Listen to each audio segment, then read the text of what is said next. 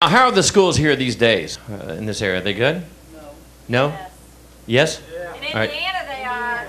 well, we're not in fucking Indiana. Uh, and I'm a geography student. All right.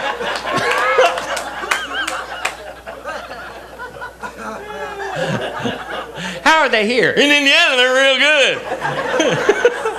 What city do you live in? Tennessee? Which way they go, George? Where's the fox? I'm bringing home my baby bumblebee.